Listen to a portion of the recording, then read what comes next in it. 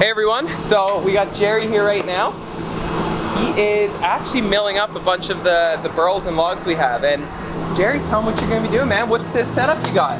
Alright, so I got a Husky 3120. It's the biggest saw they make. It's 120 cc's, and it's a five foot bar on it, and it can handle pretty much everything I've thrown at it. Uh, we actually had to trim this burl to make it fit though. Yeah. So it, it has a 52 inch throat, which is just incredible that this walnut burl is that big, but it is.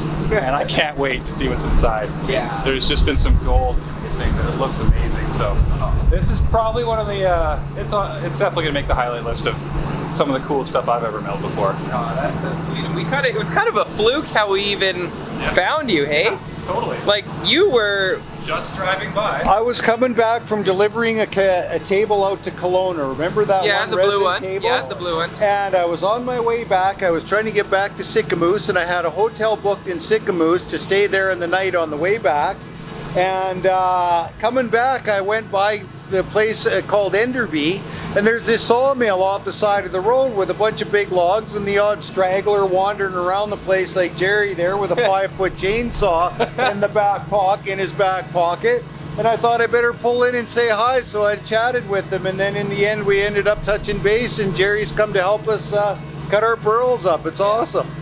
Yeah, because we've we've had these burls for like three, four, About three, four years. three, four think, years, Yeah. and they've all just been sitting up in that container basically until now. We haven't.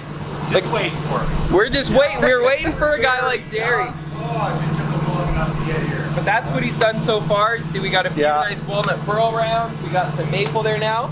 And he's just about to crack into the biggest burl we have, almost five feet in diameter. So let him take it away. What I'm doing here is I'm tacking the ladder back on and what I try to do is I try to get the screws to go in off to the side so at least you're not hitting the face of the wood. I've kind of Swiss cheese the ladder so there's holes all over the place and you just wiggle it around until they all line up on the edges and then you sink your screws down. You do want to make sure that whatever you're working on is extremely stable and it's not going to move because when this thing's actually running you don't really have too much time to react and you do not want this thing to come down on your saw. Like it's not good for it, right? This, everything has to stay nice and perfect and true.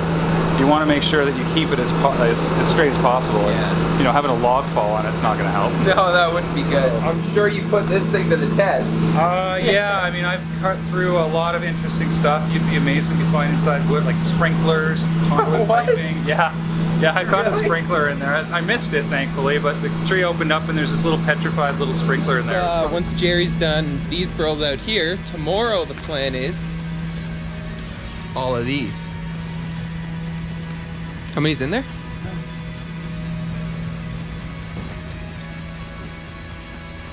Oh wow! Wow! Look at this one.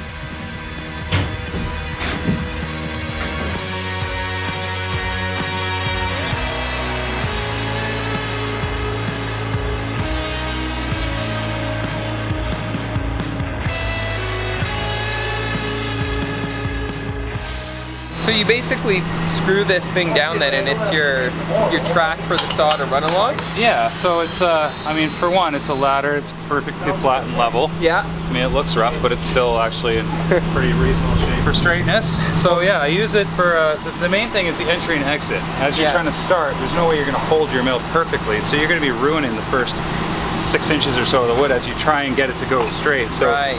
I use it to, to level it. First thing, I put the ladder on the log, and that way, even an oblong shaped log like this, you can still get a nice straight entry and exit, and it slides along the metal so well.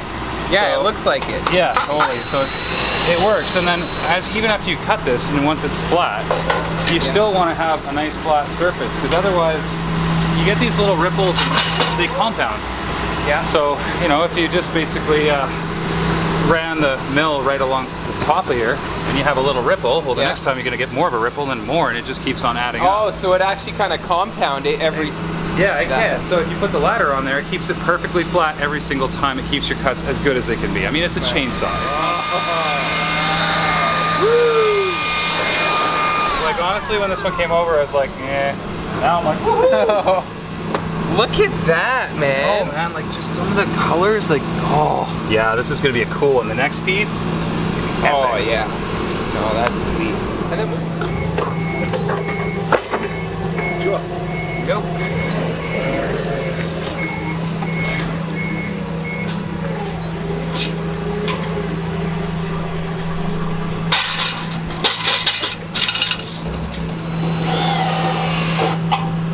This is not all of the burls we've cut up. There's more over there. Jerry's still milling more up. But now that we've got them like this, all of these slabs still have a, a really high moisture content to them.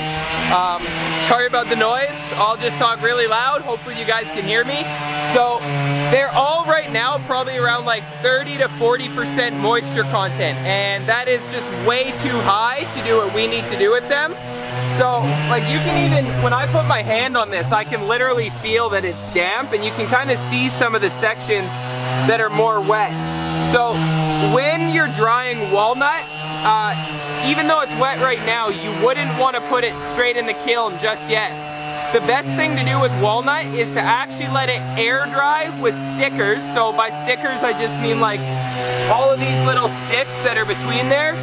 You want to leave it on sticks like this just to air dry for probably about two to three months.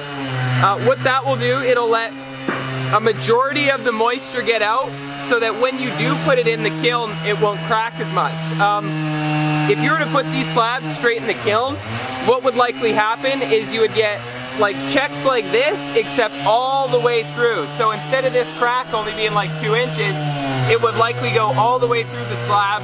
And you know, drying things too quickly is a really easy way to kind of wreck wood. So we're gonna let them air dry for two to three months and then finish them off in the kiln for probably another three months.